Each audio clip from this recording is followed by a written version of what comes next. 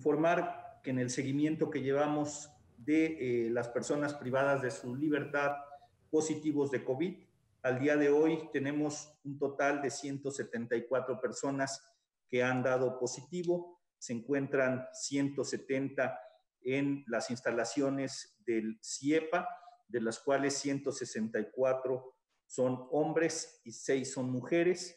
Tenemos al día de hoy 7 hospitalizados y afortunadamente no hemos tenido en este fin de semana eh, ningún recluso que haya perdido la vida. Gobierno de Puebla, hacer historia, hacer futuro.